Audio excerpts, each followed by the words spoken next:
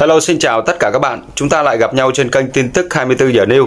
Lời đầu tiên thì cho mình gửi đến các cô chú, anh chị và tất cả các bạn lời chúc sức khỏe và an lành. Chủ đề ngày hôm nay thì mình xin nhắc đến à, một nhân vật đó là luật sư sĩ. Tất cả chúng ta cũng đều biết rằng luật sư sĩ đã tham gia mạng xã hội và đã phản biện lại tất cả những cái vấn đề của bà Nguyễn Phương Hằng khi được phát tán trên Facebook hoặc là YouTube. Như các bạn cũng biết rằng trên cái nền tảng mạng xã hội này thì ai cũng có quyền phản biện với nhau và nó tạo ra một cái sân chơi nhưng cái sân chơi này, nó có tích cực hay không là cũng do cái cách hành xử của chúng ta khi chúng ta phản biện một cách công bằng, văn minh, thì nó sẽ mang lại một cái nền tảng trong sạch và tạo ra một cái sân chơi lành mạnh cho tất cả mọi người. Đáng lẽ mình sẽ có một bài phản biện dành cho luật sư sĩ về tất cả những cái vấn đề mà vị luật sư này đã phản biện lại bà Nguyễn Phương Hằng trong thời gian vừa qua. Nhưng trước khi làm điều đó, thì mình xin mời tất cả các bạn Hãy cùng lắng nghe một người vô cùng quen thuộc, đó là giảng viên ngôn ngữ học Lê Hoàng Giang, sẽ chia sẻ với chúng ta đôi điều về khái niệm mà chính vị luật sư sĩ này đã đưa ra trong buổi livestream gần đây. Đó chính là hai từ công lý. Và xin mời tất cả các bạn hãy cùng lắng nghe và cùng nhau phân tích ý nghĩa của cụm từ này Hãy để lại tất cả những bình luận của các bạn bên dưới video này nhé. Cảm ơn tất cả các bạn đã luôn luôn ủng hộ kênh tin tức 24 giờ News và hãy tiếp tục ủng hộ bằng cách nhấn đăng ký, like, share video giúp mình. Xin mời tất cả các bạn cùng đón xem. Xin kính chào tất cả các bác, chào tất cả các anh chị em. À, kính thưa các bác, kính thưa các anh chị em, anh chị em uh, Giang muốn đưa đến cho các bác và các anh chị em một thông tin mà Giang thấy rằng nó rất là hợp lý từ một cái bác ở ngoài Hà Nội, bác này chuyên nghiên cứu về những vấn đề về bệnh. À, ví dụ như virus này thì bác nghiên cứu và bác đưa thông tin cho Giang ấy Giang thấy là rất là hợp lý. Thế thì như thế này cái con virus tàu này á là nó thích sống trong cái hốc mũi của chúng ta đặc biệt là thích vào phổi và thích vào máu của chúng ta. À, thế thì là nó thường xuyên bám ở trên cổ của chúng ta à, bám trong hốc mũi của chúng ta ấy, rất nhiều. Chính vì vậy mà nó lưu động ở trong không khí. Cho nên là khi ra ngoài ấy, thì chúng ta cần đến bảo vệ mình bằng cách là đeo khẩu trang. À, ra khỏi cửa là đeo khẩu trang. À, thưa các bác. Cái thứ hai á, cần giữ ấm cơ thể bằng nước gừng mình nấu vào mỗi buổi sáng. À, mình uống vào một một một ly nước ấm. Trong mỗi buổi sáng thì nó cũng đang lại rất rất nhiều cho sức khỏe của mình cho dạ dày của mình. Đặc biệt là giữ ấm cơ thể đối với cái con virus này bởi vì con virus này nó rất là sợ nóng. À, thế thì ờ, về thuốc thì các bác và các anh chị em cần phải trữ ở trong nhà cái gì? Paracetamol à, một cái ờ, loại giảm sốt à, thì các bác luôn sử dụng ở trong nhà. À, luôn có dầu nóng ở trong nhà để bôi lên mũi của mình khi cần thiết. À, thế thì ờ, cái mà thông tin người Giang đang nói đây á chính cái đặc trưng của nó như vậy á.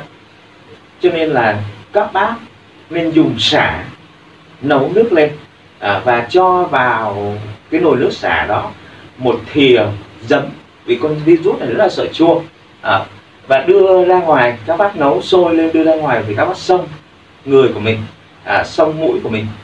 Thì các bác xông xong á các bác suy xong á, thì các bác phải nhỏ vào đấy vài giọt dầu xanh.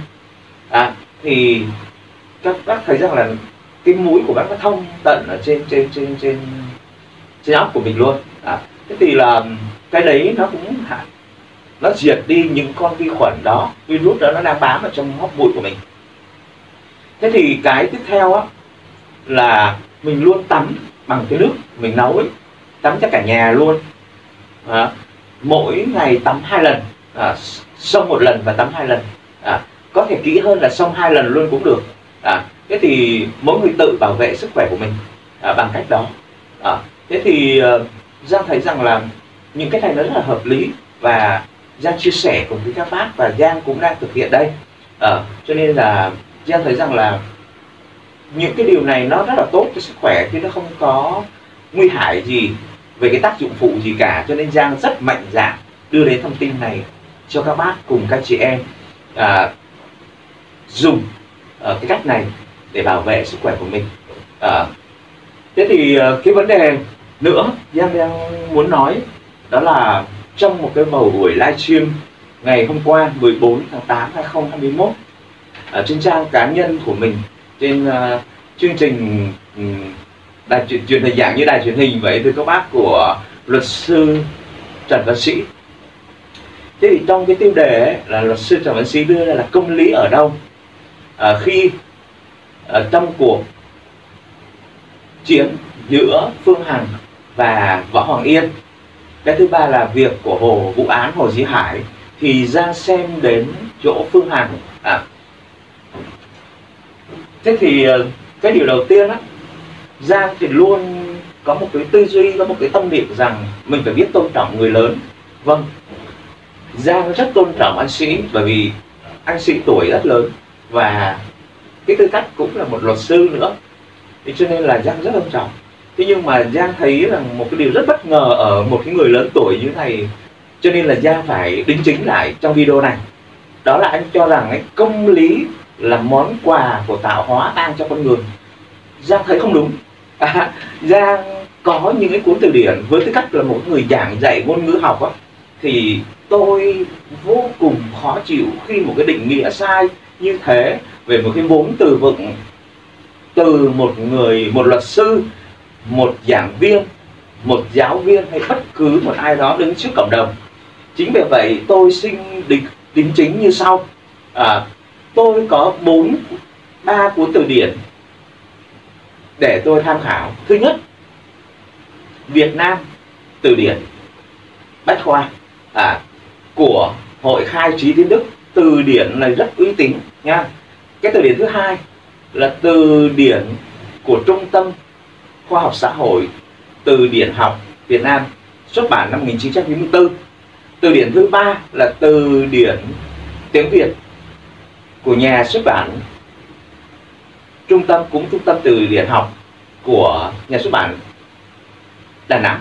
À, như vậy thì với ba cái cuốn từ điển này thì cùng định nghĩa bởi vì ra một mình giang đứng ra giang cũng có thể nói cái khái niệm về công lý là cái gì ấy. Thế nhưng mà khi mình đã đứng lên đây thì phải phải nói bắt cái sách. À, nói cái sách bắt cái chứng. Chứ không thể nào mà mà mà lên đây tự mình nói ra thì tạo ra một sự hoang mang cho người nghe. Không biết là ông già ông nói vậy có đúng hay không? Ấy thế cho nên là họ cần phải kiểm tra. Cho nên các bác yên tâm. Trước cái sự nghiên cứu của Giang khi đứng trước cộng đồng để nói về vấn đề này và Giang cũng lấy một cái thông tin đó là Giang cũng nói sách bắt đặc trưng ở chỗ này.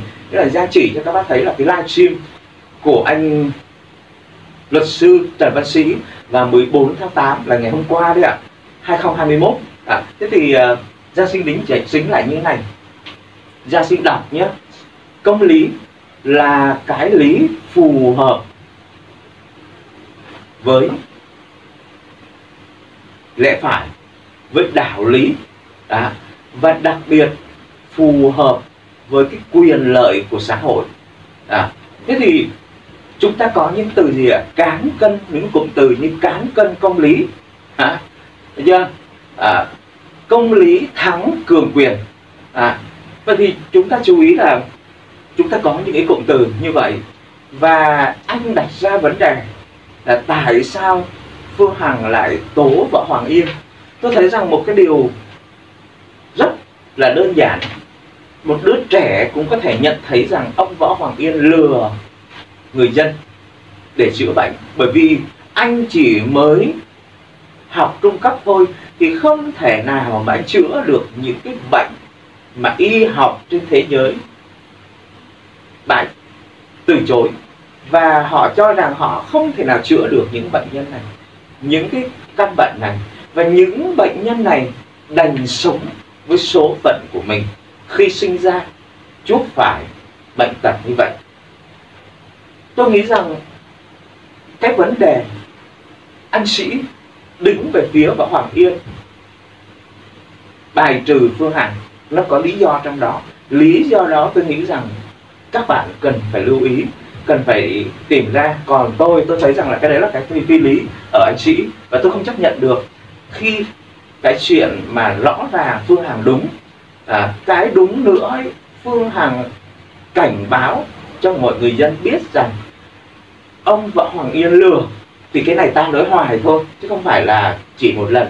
Và tôi nghĩ rằng anh sĩ phải biết rằng là anh mà anh lên anh cứ luôn nói ngược lại với phương hằng ấy thì anh chỉ bị vỗ xẻ và võ hoàng yên bị người đời ra rả nó hàng ngày à, cho nên là anh cũng phải chú ý vì sao tôi nói về ở video này về anh. Bởi vì anh nói sai về vấn đề phương hằng với võ hoàng yên. À, tố võ hoàng yên. Cái tố võ hoàng yên thứ hai nữa ấy là tước đoạt tài sản của cô ấy. Chứ mà chuyện đơn giản. Cái chuyện chữa bệnh không đâu. À, cái tiếp theo nữa đó là gây ra đến gần hơn chứ hơn chục cái bệnh nhân cái gia đình tan thương. À, đau thương tan tóc cho họ. Có nghĩa là đã hại 10 bệnh nhân nghèo.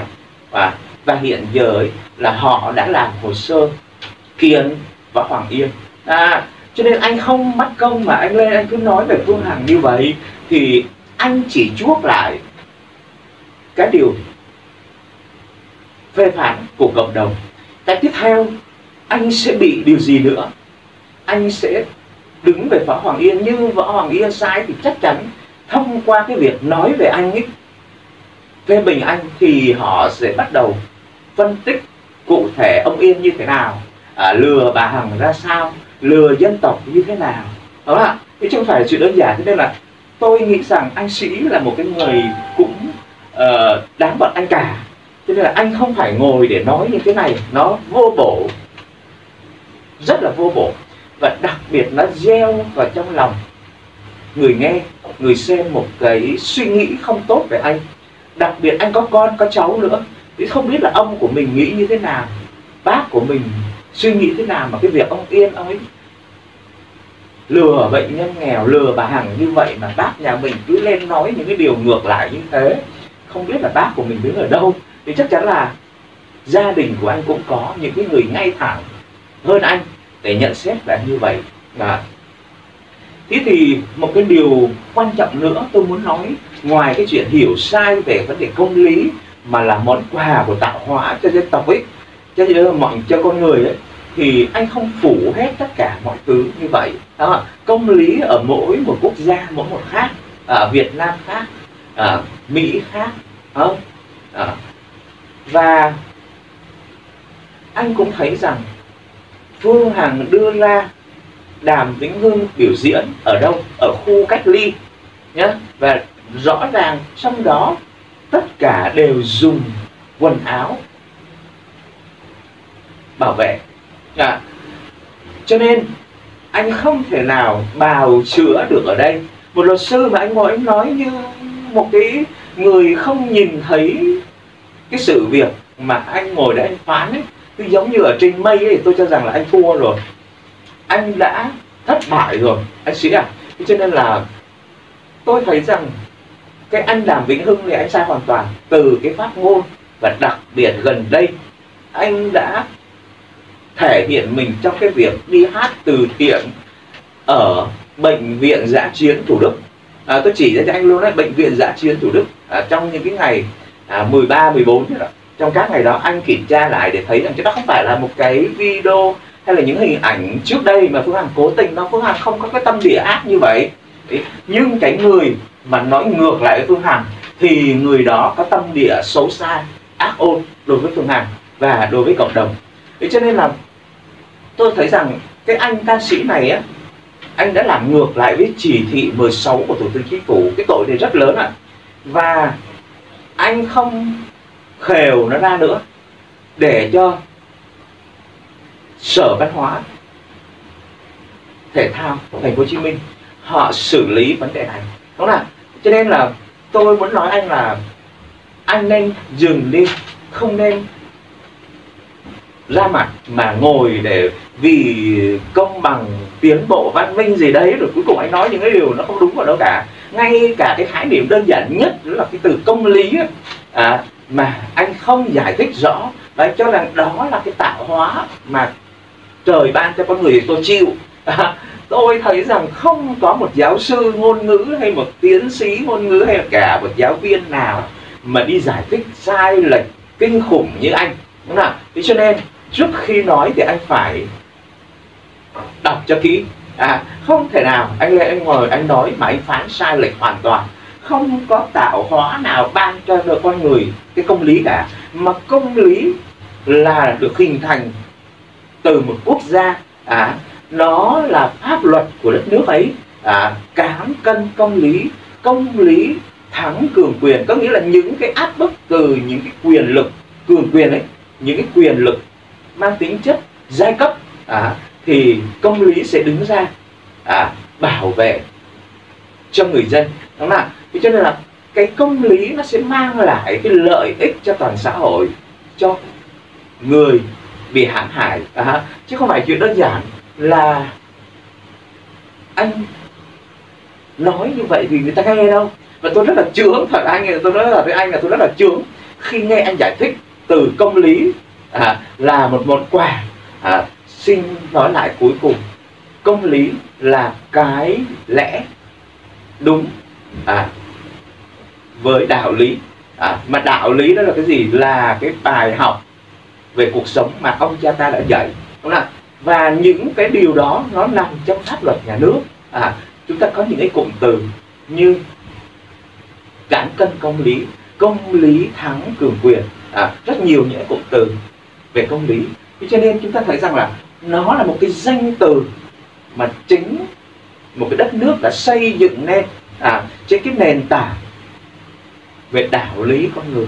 Đúng không ạ như vậy thì cái việc người ta làm đúng ấy, người ta dựa vào đâu? Dựa vào công lý đúng không chứ không thể nói là không tạo hóa là ban cho cả đúng không cái dịch này này là tạo hóa à, là đất trời ấy, là tạo ra con virus đó.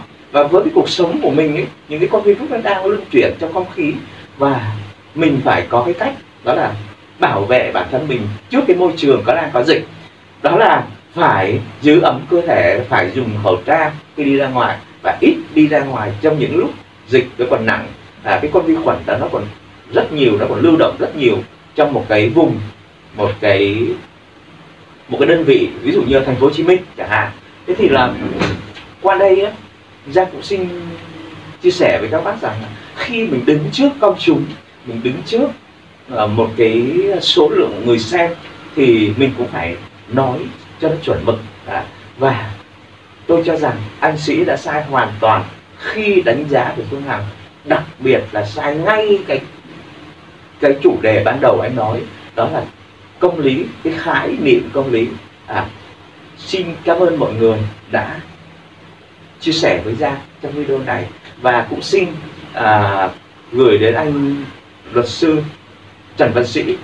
Nếu như Giang có lời gì đó không phải với anh với một người trẻ hơn anh thì anh hãy bỏ qua cho Giang. À, Giang vì cộng đồng để nói vấn đề này. À, xin các bác à, hãy giữ gìn sức khỏe và hãy làm theo cái công thức mà Giang nói từ đầu video để giữ gìn sức khỏe bảo vệ sức khỏe của mình. À, chào tạm biệt các bác và hẹn gặp lại các bác ở video sau.